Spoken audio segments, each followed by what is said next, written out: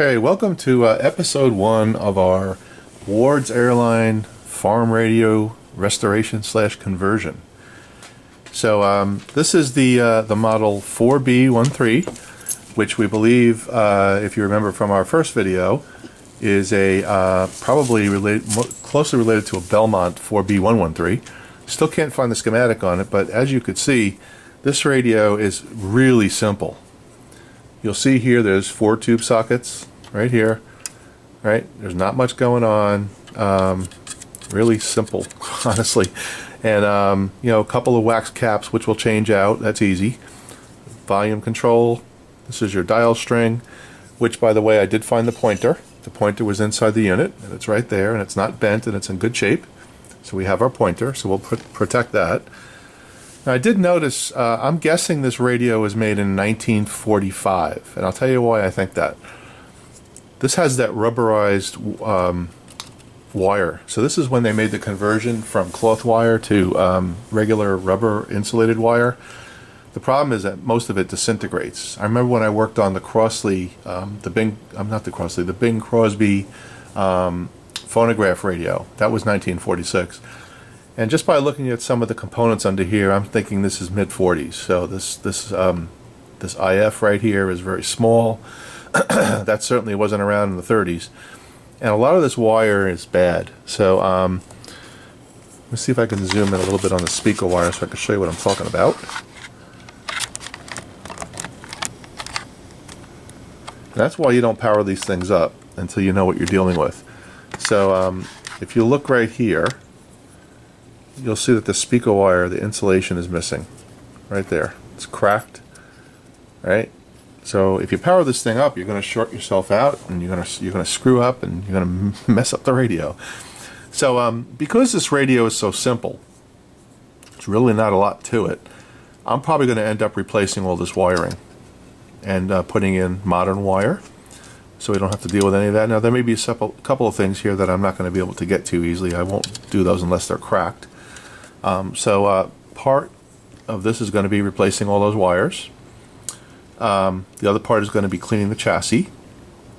And then um, let's take a look at the top. Let me change the shot and I will uh, come back on that. Be right back. Okay, looking at this from the top down, um, simple, really. Now I do notice that um, this tuning cap has yellow on it and that is indicative of uh, a chemical process of plating. Let me get that phone. I'll be right back. Okay, so back to this. Um, I'm seeing this yellow residue on the tuning cap, and I remember again when I worked on that Philco. Uh, I keep saying, yeah, it was a Philco Bing Crosby uh, model 1201. It was a record player slash radio. I saw that yellow powder and didn't know what it was and was messing with it. And uh, turns out that that is probably toxic. It's I think chromium or cadmium, and we don't want to mess with that here. So we're gonna we're gonna make sure we don't uh, disturb that. Um, but the rest of the chassis can be easily cleaned. Um, if you look at these wires that go to the uh, built-in antenna, which is kind of unique, it looks like they took wire and poured it into like a mold, and uh, it looks like cardboard is impregnated in there. I'm not so sure what that is, but a lot of dust. I know that. So we're going to take this out. Um, these wires look like they've got um, green disease. So we're gonna we're gonna replace these wires. I should then be able to um, to cut the wires for the speaker, cut the wires here and replace them, and um, and then carefully mark these these wires here, uh, and because uh, I don't have a schematic, so I got to be careful. So I know by looking at the um, the terminal block here for the batteries. Let's see if I can uh, make some determination here.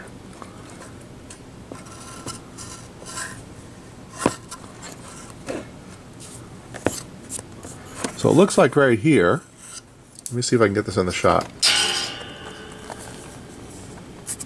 There's a lot of dust on this thing, but it looks like somebody wrote B right here, letter B. So that's my B plus. This is going to be my filament. So I know that these two wires go to the filament, and I know these two wires are go to B plus.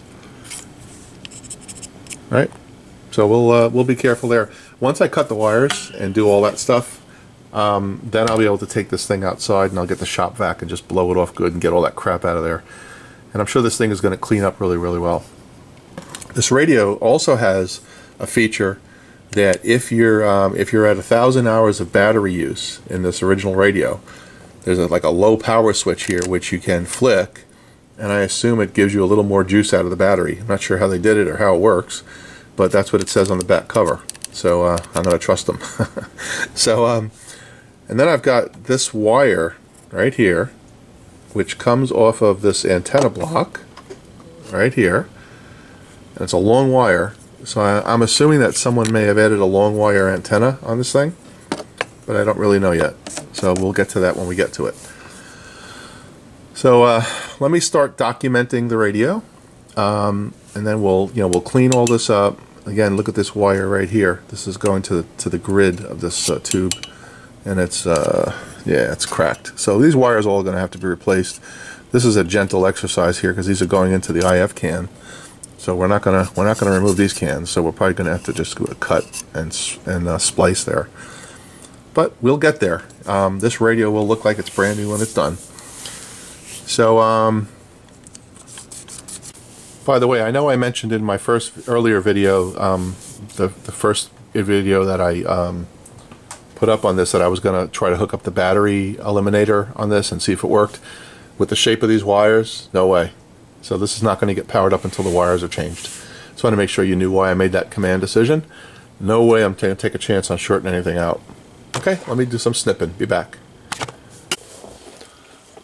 Okay, so I've taken the uh, the entire radio outside and got out my shop vac and blew all the dust off. That's amazing what you find when you do that. So um, let me show you what I what I was able to uncover here. Somebody wrote in pencil. Let's see if we could zoom in here.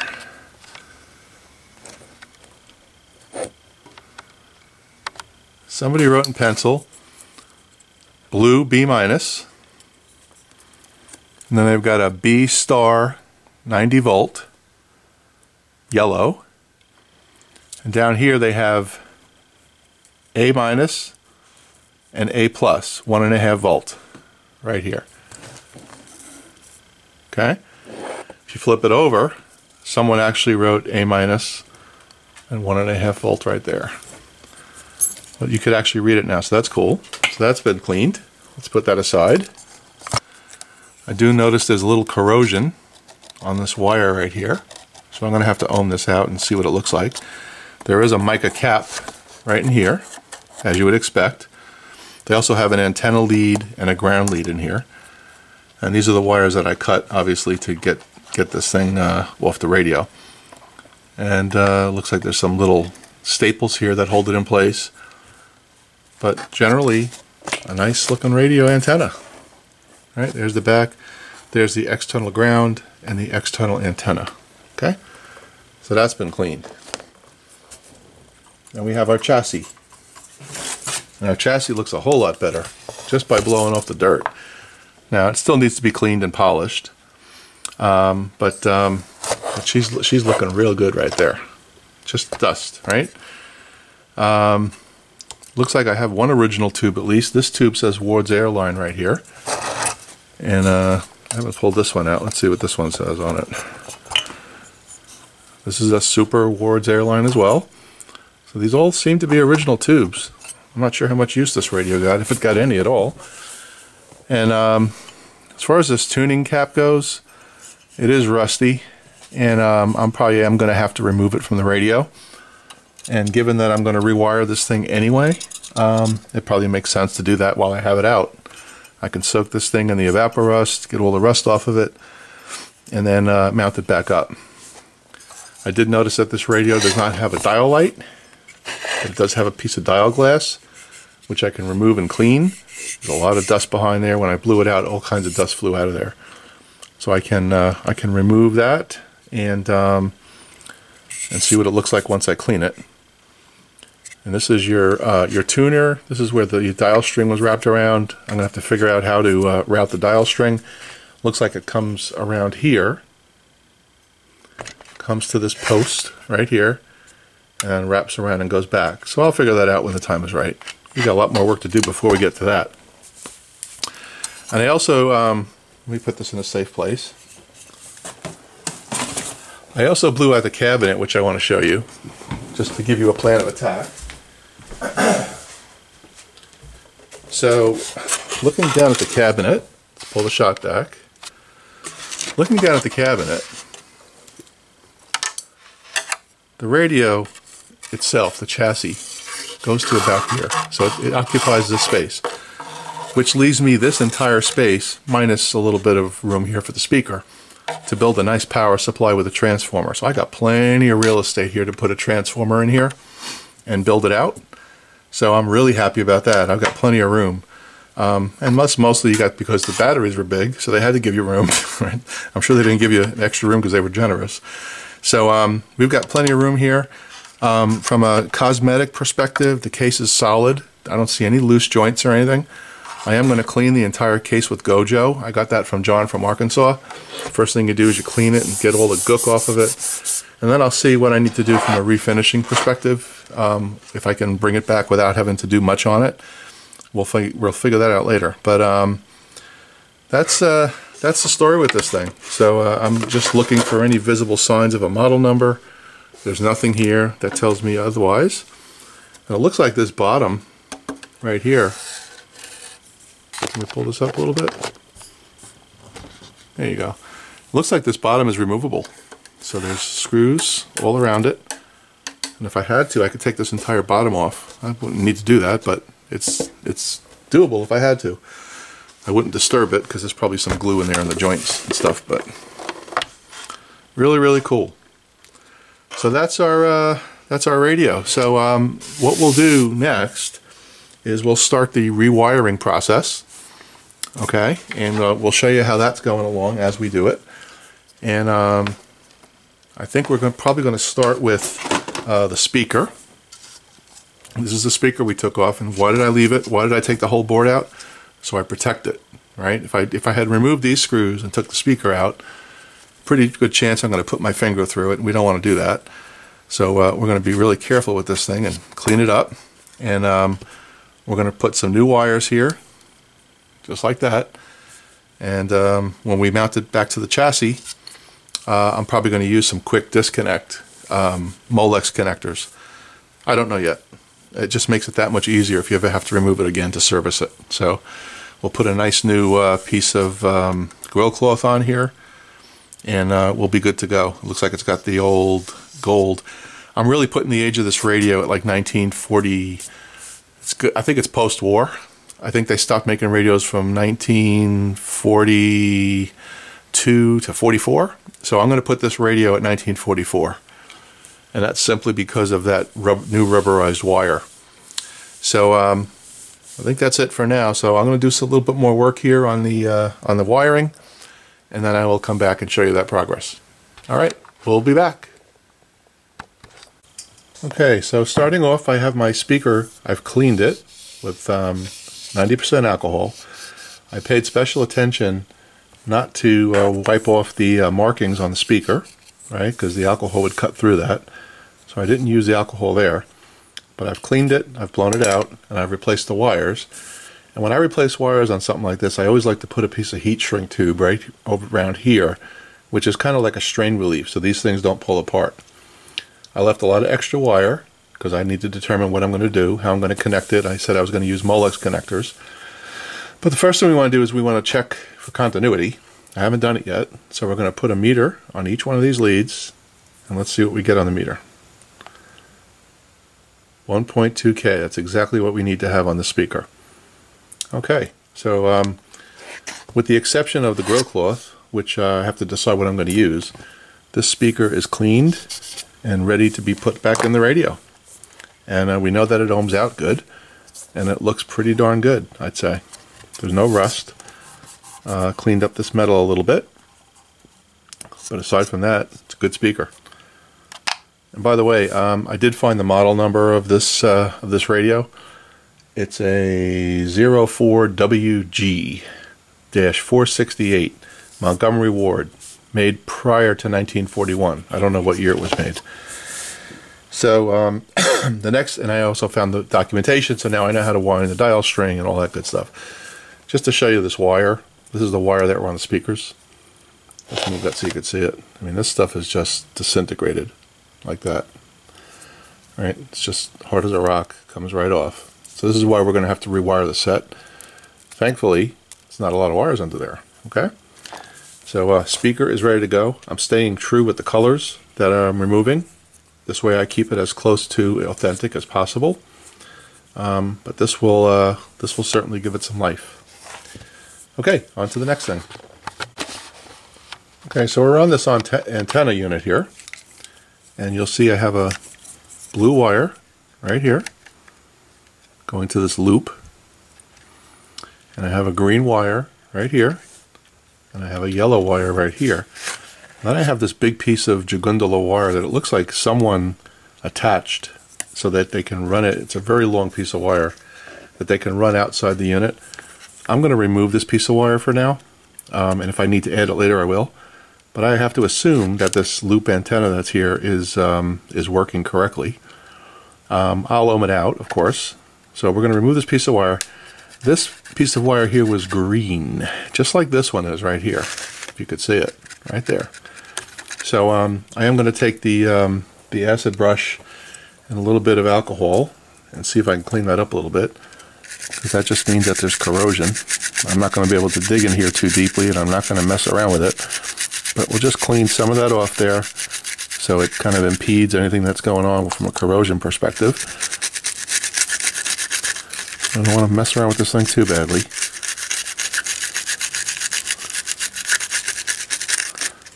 So you'll see that that's taken some of that green off. We got a little bit to go on this side here.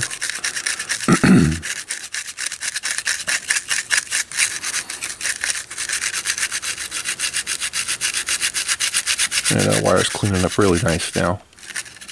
I don't want to get this thing too wet because it's impregnated with glue, I think.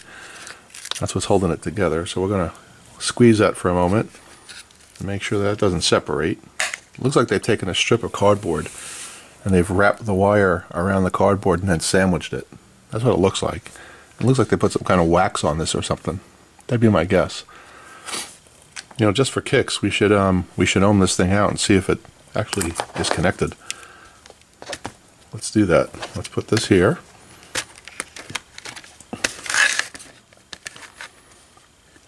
Let me pull this shot back a little bit so you can see it. Okay, there's our meter. Let's see what we get across these two.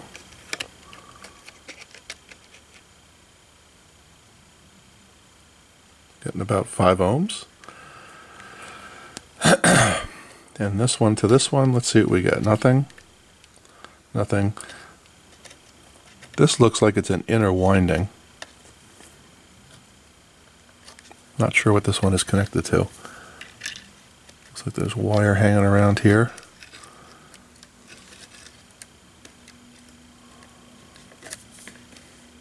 Not sure what this thing is doing. It doesn't look like it's in good shape. I'll have to look at the schematic and see what this wire is doing right here. It's interesting. At least I know that these two windings are good though. Okay. Let me solder wires on here and we'll be back. Okay, I've got the uh, wires here. I'm a little worried about this center loop. I'm not sure what it does, but I'm going to show you why I'm nervous. Let's see if we can get a little closer in there. Right about there. Oops. I lost it. Where is it? Oh, okay. See this here? That looks to me like this coil is open. Now, this is an antenna coil. I'm sure of that. I'm just not sure what kind of bearing that's going to have on the radio. Um, that could be why someone um, soldered a different antenna wire on there that I removed. That big thick wire I told you about that was here on this yellow side. This coil here may be bad. If it is, I may have to rewind it. So we'll see what happens with that. We'll get to that road when we cross. We'll cross that road when we get to it. Um, but this antenna is ready for now. Okay, back later. Okay, the next step is going to be to get this tuning cap off and soak it. So it looks like there's one wire here that goes to this antenna and this other its same connection point goes up to this grid. There is a wire here that goes underneath the chassis, and there's a ground strap right here. And when you look underneath, you'll see that there's um, three bolts, and there's an insulating um, washer there. So we're going to replace that. That's rubber as hard as a rock. So we'll get that off. We'll throw it in the evaporust. It'll clean it right up, I'm sure of that. First we'll put it in the ultrasonic cleaner and, uh, and get all the dirt out of it. I can hear it rubbing a little bit. And then we'll, um, we'll put it in the evaporust and get some of this gook off of here and it'll be good as new. Alright, so let's go do that. We'll be back. Okay, one thing I want to show you, I did remove the tuning cap. It's right here. And in this particular design, the tuning cap is isolated from the chassis. And they've got these grommets, which are in really bad shape. They go through the chassis, and then these screws go up right here and go into the bottom of the tuning cap, and it's supposed to be isolated. But as you could see here, this is all cracked and um, probably wouldn't work very well. So, uh, so I'm glad we're taking this off, and we're going to rip out these grommets, and we're going to put new ones in. Look at this fall apart. And we're going to replace them and then when we put this thing back together, it's going to be uh, in much better shape than it is right now. So this is a good a good reason to, for a moment to talk about why you don't just power up a radio sometimes, because you never know what you're going to get. Okay, so here's the wire that comes up from the bottom. Here's the wire that comes up from here. There's also a wire that goes to the top of this tube, and this is the ground strap. So while we have this open, we're going to clean all this out. We'll take the tubes out, clean the top of the chassis, but first order of business is to get this thing soaking because there's some pretty bad gunk on this thing. All right, first it's going to go in the uh, in the ultrasonic cleaner. Then it's going to go in the um, in the um, evaporust overnight. Okay, that's it for that. Be back. Just to show you where we are, I have the tuning cap in the ultrasonic cleaner. I've already run it through one one pass, and I've just flipped it over. And you can see it's uh, coming out clean. You can maybe see how filthy that water is. So all that gook is coming out of there. These, these cleaners work really well. You can get one at Harbor Freight for about 30 bucks. So we're going to let this one finish. There's about four and a half minutes left. And then after it's done, we're going to put it in the Evaporust overnight. And it'll get rid of a lot of the rust that's on this dial. And then after we do that, we're going to let it dry properly, and then we're going to lubricate it and grease it and make sure it's nice and smooth.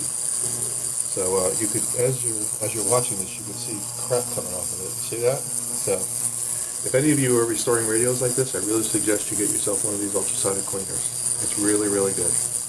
All right, I'll uh, show you after uh, I let it soak overnight and then what it looks like at the finished product. All right, see all that rust in there? We're going to get rid of all that rust. Okay, be back. Okay, before I put in the Evaporust, you could see it really looks a lot better. It's clean, I thought it was more rusty than it is, but uh, it'll get rid of some of this. So we're going to dump it in there now. It's looking good. You'll, next time you'll see it, it'll be out of the evaporust.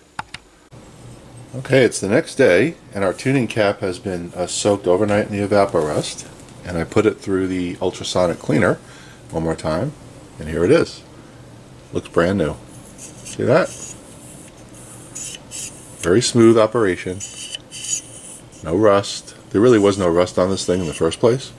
So um, the evaporust was really just a protective measure. Um, next thing to do here, see these little bearings? What you do is you take a toothpick and you put a little dab of white lithium grease on those bearings. And you just work it in, and that will make this thing work trouble-free for another 70 years. Okay, so this is uh, ready to be uh, reinstalled. We do need to clean off these terminals right here. This is where the solder was. And uh, there's another connection that goes right here.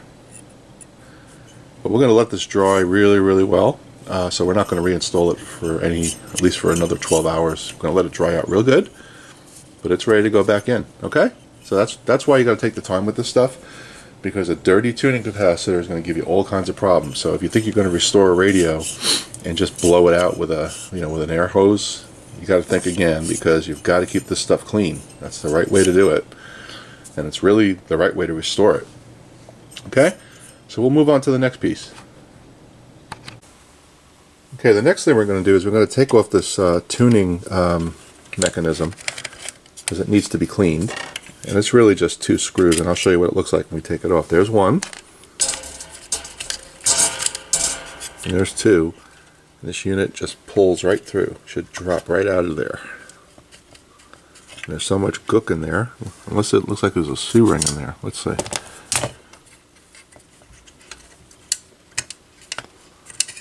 There it is. It's just a lot of gook and grime in there. So we're going to pull that pull that out like that.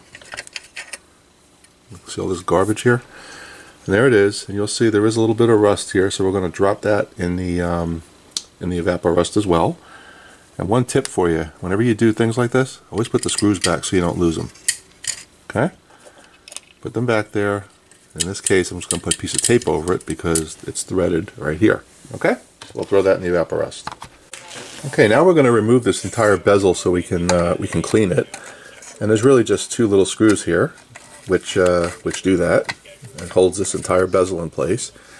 And of course, once we get that off, we're going to remove that glass, and I'll show you how to do that when I get there and we're going to clean the glass and um, and make sure that that looks good when we put it back in. So I've taken off the two screws. Let's see what's holding me holding me in place here. Ah, there's one more screw right down there. So we're going to remove that screw as well.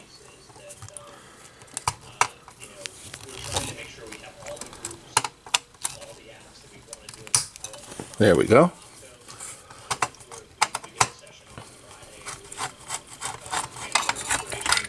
There we go. Okay. We've got our bezel removed. So now we can take this glass off. There's two screws right here that you take off and this slides out and you carefully clean it, making sure not to scratch the, uh, the paint. So now we have a chassis that we can really work on and clean. Okay? Be back. One last thing, of course you put the screws back in so you don't lose them. One here, one here, and one here. Okay. So what we're going to do now is remove the dial glass and we're going to be really careful with this. I don't want to break it. All right, these things are irreplaceable. So there's two little screws here, one here, and there should be one here.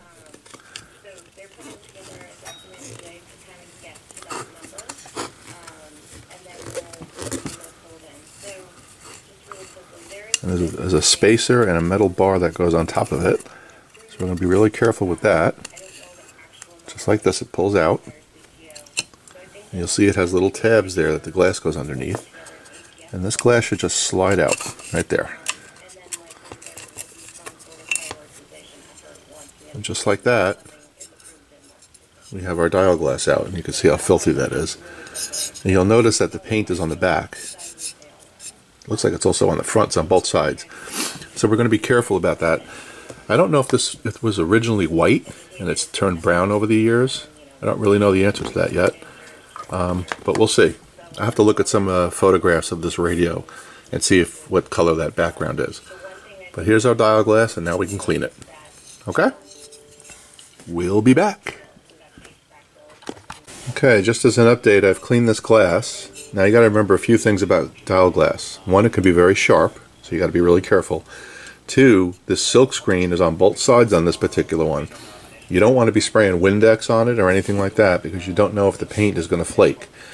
What I did on this one is I simply ran it under water, got most of the surface dirt off, and I took some uh, some 90% rubbing alcohol and with a you know a soft brush just kind of rubbed it on real nicely and with a soft cloth just wiped it off and it's pretty much crystal clear at this point so the glass is restored before I install it back in here, I'm going to polish it and make sure that there's no fingerprints on it. But this dial glass is now in good shape. I am going to take a little time to clean the frame before I put the glass back. Okay? So uh, never use anything caustic on this stuff because it'll take the paint right off. this particular one looks like it's silk screened white on the bottom and gold on top. And I did check, and this is actually a piece of felt, it feels like. Um, so that's the correct color, so we're not going to touch that. It's going to be the way it is. All right? Be back. Okay, where we are now is I'm looking at the chassis right here, and this is the back of the chassis. You'll see we have a, a pretty deep rust spot there. So we're going to take some of this uh, naval jelly, and we're going to put that right on that spot and get rid of that rust so it doesn't get any worse. This naval jelly stuff works well. Um, the main thing you got to remember with naval jelly is don't let it dry, right? You got to keep it wet. Um, it generally works pretty fast. It works a lot faster than Evapo-Rust. And what I'm doing is I'm just putting a little bit on a Q-tip, and I'm just going to lay it on there and get rid of that rust. And what it'll do, I'm not going to put it on the entire chassis because it is going to um, eat away at the, the metal finish a little bit. And you got to remember this this chassis was made in pre-war, so uh, it's probably got some wacky cadmium coating on it. So we're going to put just enough right there to kind of chip away at that at that rust. I'm just going to lay it on nice and thick, just like that. Then we're going to let it sit. I'm going to put a little bit more on this end right here because this is also another spot that's developing. And this will stop it dead in its tracks, and um, it'll it'll be good. Uh, what it'll end up doing is turning that black, and um, but it won't be rust, which is good. That's what we need. Okay, so we're gonna shut the camera off, let that work, and we'll show you what the end result looks like. Remember, naval jelly. You pick it up at Home Depot. Good stuff. Also, John from Arkansas has been using uh, vinegar, four four percent vinegar, I think, white vinegar, um, and that's a lot cheaper even than the Evapo-Rust. So that does a good job too. It takes a little longer. This stuff works right away. Okay, we'll be back. Just to follow up, I took off the uh, naval jelly and it's gone. So we're good. Got that all cleaned up now. Nothing to worry about. Smooth as silk. What I'll probably do is put a little bit of clear nail polish on there um, just to uh, to make sure it doesn't come back. But we're good to go.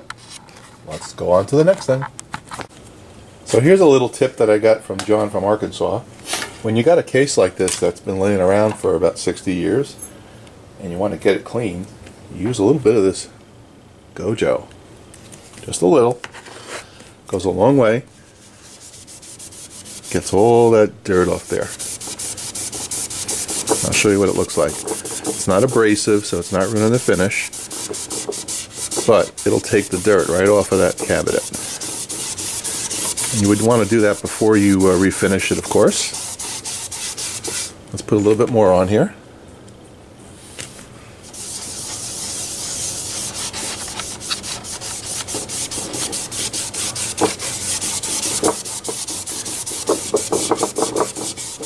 Just want to get all that baked in dirt.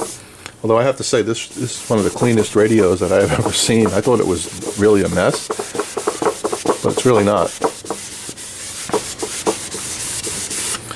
There, there's our rag. That's good. And now at least we've got the surface dirt off of it. We've got a clean surface to work with, which is good. Okay? So that's a little trick you can use when you get one of these wood cabinets. you know, don't start using Pledge and all that stuff, Windex and all that garbage. Just get the dirt off of it. It's nice and smooth. And you can do that on the inside and the outside.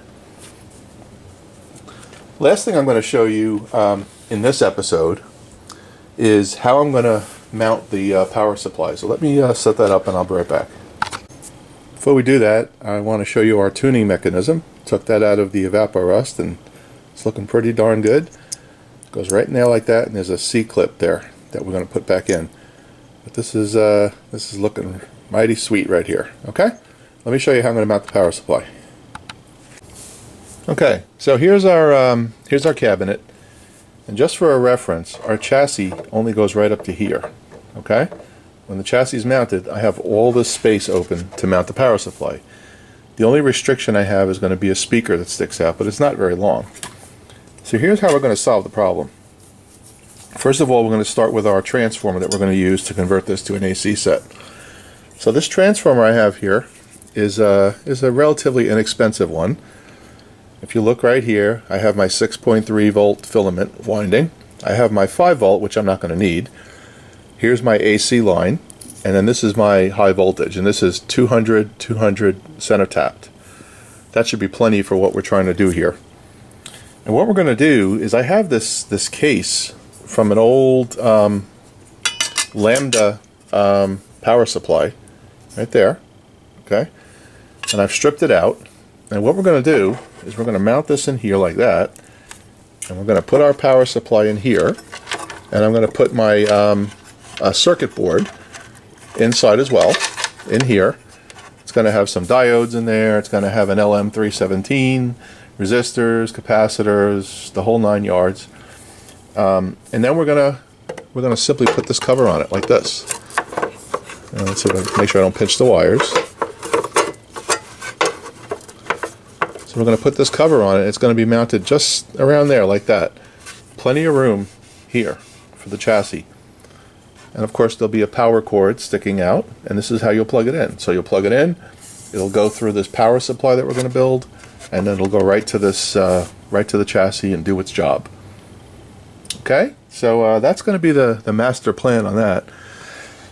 One thing I want to also show you before I wrap up this first episode. If you remember, I took this out yesterday, and I was it was explained to me that this was a modification to the radio that was probably sold by you know Ward's Airline or someone else. Basically, this radio originally had two 45 volt batteries totaling 90 volts for B plus and a one and a half, and this was kind of invented to tie the two 90 volt batteries together, um, and uh, and not have to buy two batteries. You buy one 90 volt, and these things are plugs. They actually come out. So that's where the original batteries plugged in, and they brought everything to this plug. So you could buy a 90 volt battery and plug it in. Okay? So uh, we're not going to reuse this on this radio because we're building this power supply. However, a little bit of good history there. So, um, so that's going to be it for this episode. I don't want to make them too long. So what we're going to do in the next episode uh, is I'm going to continue to clean this case, and I'm going to continue to clean the chassis. I don't need to show you how to do that. I've given you some tips and tricks on how to clean. I am going to clean the inside of the case here because there's still a lot of dust in there. I'll continue to do that. In the next episode, we're going to begin the rewiring of the chassis. Uh, and we're going to make sure that uh, we do that correctly. We're also going to clean the chassis and clean the tubes and make sure, test the tubes and make sure they're all good. And my plan is to be able to throw this up on the antique radio battery eliminator and fire it up and see if it works. Of course, I still need to mount the um, tuning capacitor that we cleaned. So it's been drying all day. It's perfectly dry now. We're going to lubricate this like I told you. I'm going to put some lithium grease in there. And we have our dial glass all cleaned up, and I'll show you what that looks like. So our dial glass has been reinstalled. It's been perfectly cleaned. You can see your face in it now. It's reflective. looks damn good. The way I cleaned this glass was a little bit of alcohol. I told you that. So I now have it mounted. So our dial glass is clean. So we're making good progress. Yeah, you know me. I like to roll along here. So um, that's going to be uh, for that's going to be it for this one. Uh, I'll put this up and let you guys check it out, and uh, I will continue to make progress here. All right. I'll see you guys in episode number two. See you later.